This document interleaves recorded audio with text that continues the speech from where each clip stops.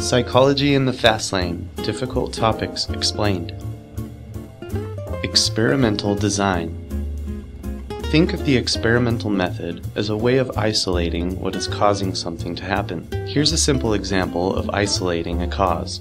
You notice that your car is making a squeaking noise when it's running. You walk around the car and listen for where your sound is coming from. You notice that one of the parts is wiggling around. By listening to locate the source of the sound, you used your auditory perception, and you've confirmed it with visual perception. So you hold it in place and the squeaking stops. You let it go and the squeaking continues.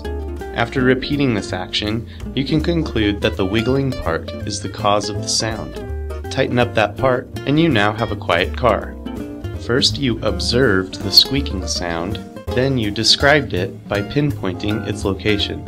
Then you made a prediction, or you hypothesized, that the wiggling part may be related to the squeaking sound. Then you tested your hypothesis by stopping the wiggling part and observing the sound stop. You repeated the test and compared the non-wiggling and wiggling conditions, or the control and experimental conditions.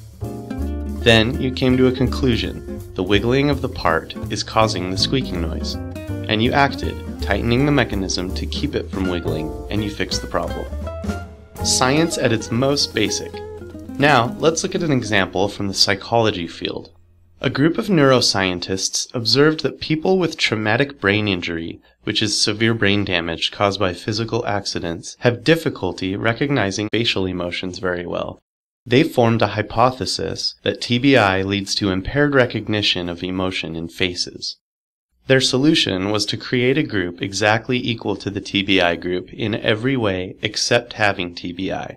Same gender, sociocultural, and age characteristics, just not brain damaged.